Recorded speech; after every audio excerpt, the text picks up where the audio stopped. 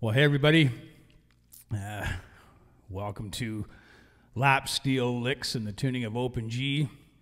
I believe this is tutorial number two that we're working on today. Uh, and in this tutorial, we're going to learn the lick that I just played.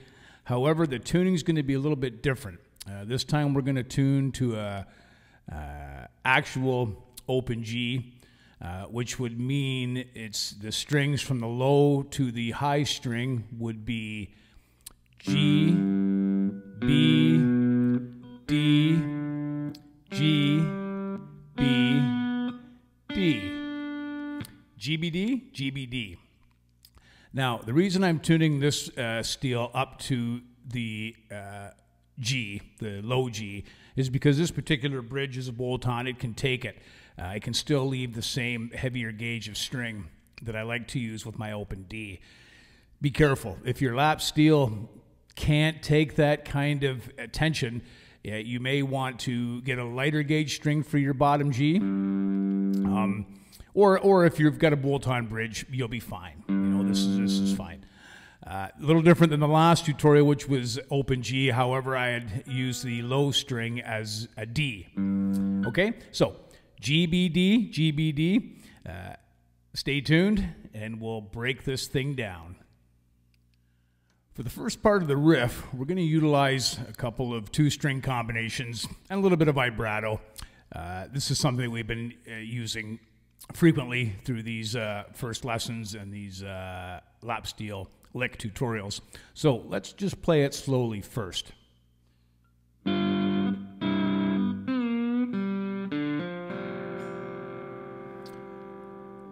That's as simple as it is. Um, so let's break it down. We're going to start with our thumb on the bottom uh, G string while simultaneously plucking the second string with our second finger, uh, having the bar at the sixth fret on the second string and only the second string.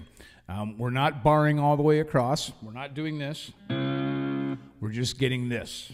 So you're going to pluck those two simultaneously with just a little bit of vibrato. Sorry, sixth fret. Okay, the next part will go to, it will just take the slide down to the fifth fret on the second string, same string.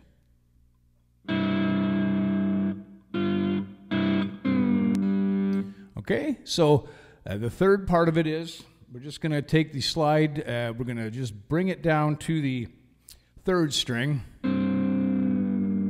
and slide that gently uh, all the while using the thumb as your drone string. I love those drones as we discussed in the last lesson.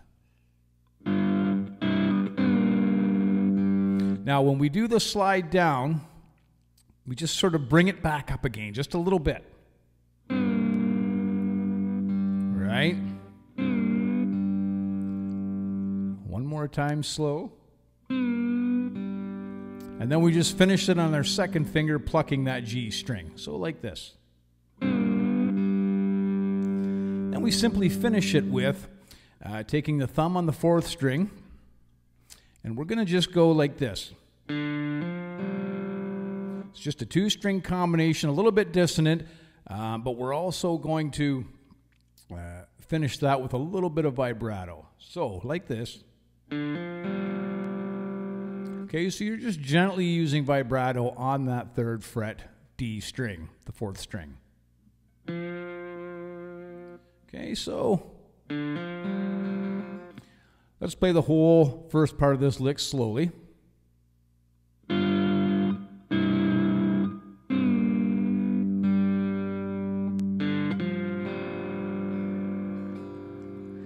I'll just bring it up to speed. It's going to be a little bit quicker in the jam track for sure.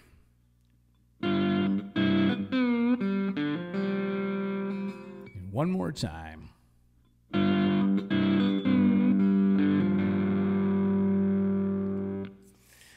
That's the first part of the lick. Yeah, stay tuned, and we'll break down the next part. This part of the uh, riff is actually uh, quite simple.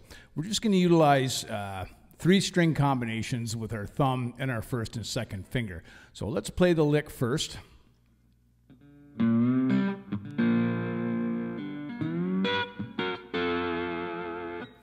Okay, so that's the middle of the lick.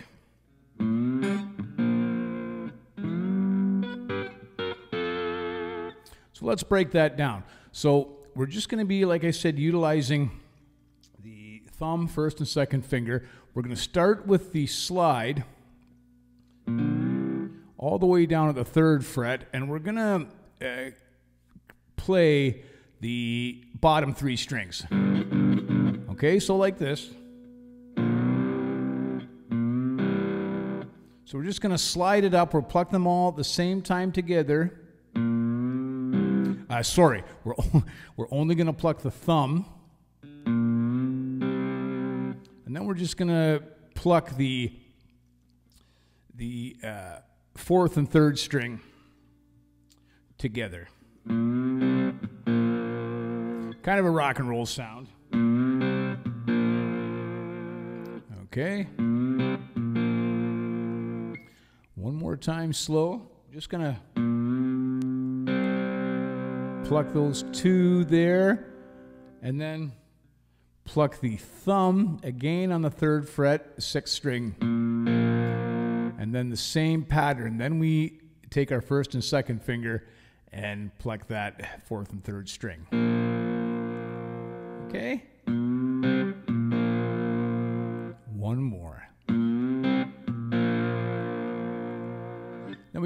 The way up to the 10th fret. Sort of the same pattern.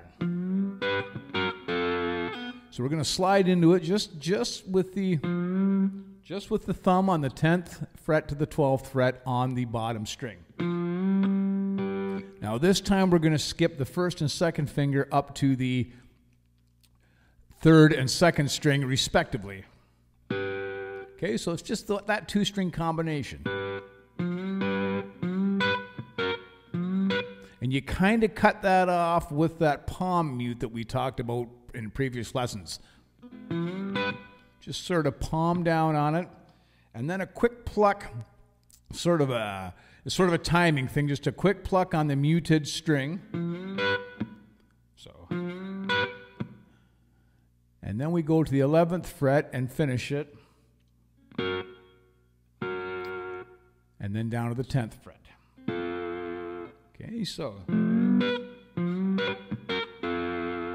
So it's a very, it's kind of a palm muting thing. It's it's not difficult. It may seem confusing right now, but you'll pick it up right away. So 10th fret to 12th fret on the low string. Sorry. And then immediately pluck the uh, third and second string simultaneously. And then a quick pluck, the 11th fret, and then end it on the 10th fret. Okay, so let's play it just a couple quick times here.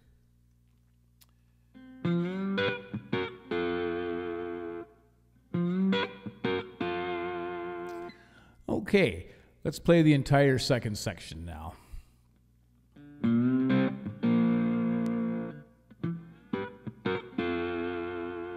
one more.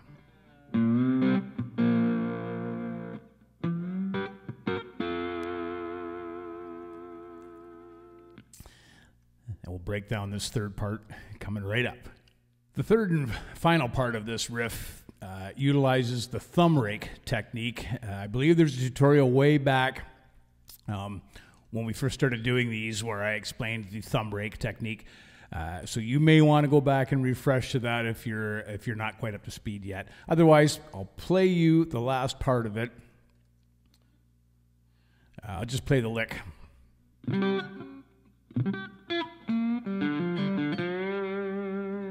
We'll do that one more time.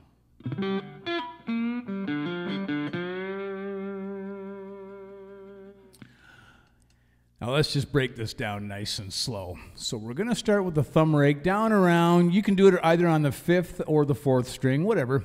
Whatever is comfortable for you. You may not nail this each time in a live situation. I tend to go with the with the fifth string. Okay, so so and then it's so we just kind of do a, a little rake with the thumb on all the strings all the way up to the high string. And then we do that mute thing again with the, with the heel of our palm. You're just gonna You just want to kill it right away, okay?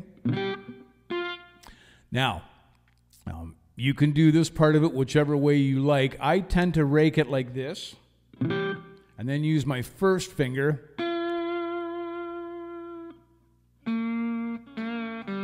Okay, so. And then I use my thumb on the third string at the third fret.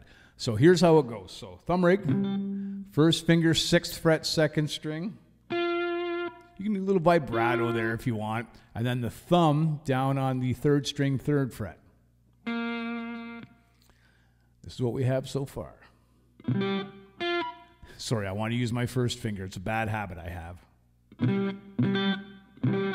And, and sorry, let's just be clear here. You finish the rake uh, with the second finger, your middle finger, like this. Okay? So I, uh, sorry, I may not have explained that correctly in the first part of this. And uh, so we're going to use just our second finger for the rake, or, or thumb for the rake, second finger for the pluck. And then sixth fret, second string with the first finger. And then the thumb all the way down on the third fret, uh, third string.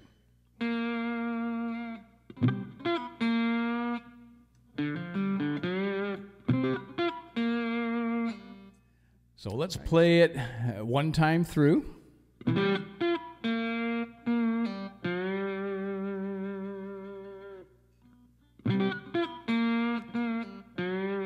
So we'll just end it now with uh, uh, basically with uh, first finger on the third fret sliding down to open G. So we'll do a we'll do a little pull off at the end. Okay. And then we start with the fourth string, third fret, and slide that up to the fifth fret.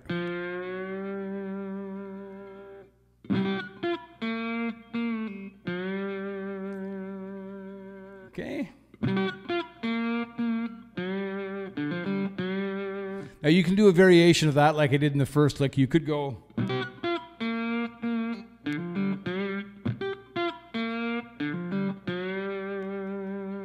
Either one of those. I might mix it up in the jam track. We'll see how it goes.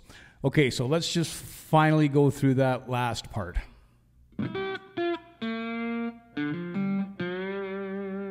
Or the other way.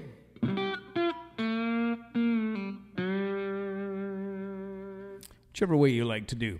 So, before we get to the jam track, let's play uh, the entire lick that we have so far. I'll play it slow. We'll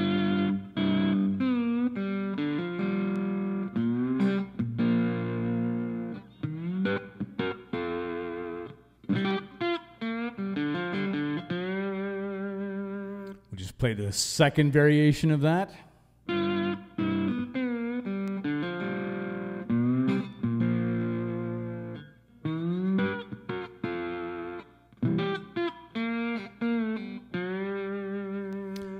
That one's just a little bit simpler. I'll mix those variations up in the jam track so you can have some fun, assuming you're keeping up with me here um, after this many lessons. So let's get to the jam track and we'll have some fun on this one.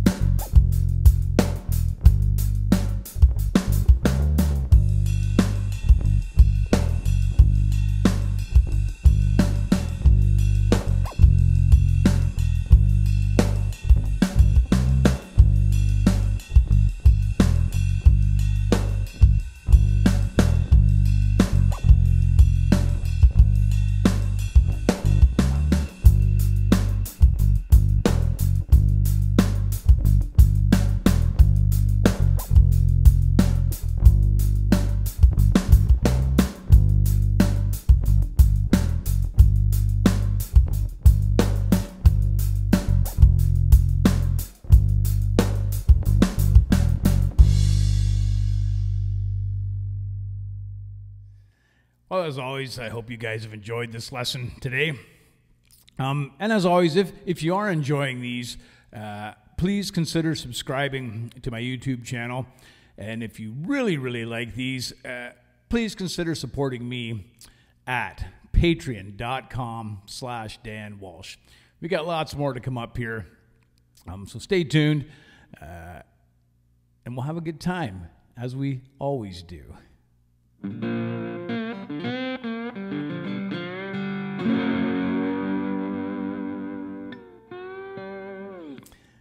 Take care, folks. We'll see you soon.